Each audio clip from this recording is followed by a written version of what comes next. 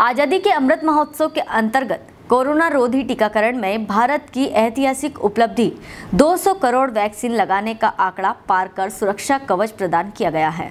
प्रतिबद्ध स्वास्थ्य कर्मियों और अनुशासित नागरिकों के सहयोग को समर्पित यह उपलब्धि कोरोना की पराजय का उद्घोष करती है।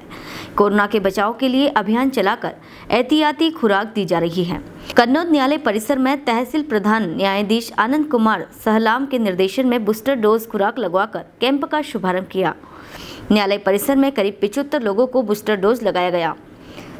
कन्नौज से कमल गर्ग की रिपोर्ट।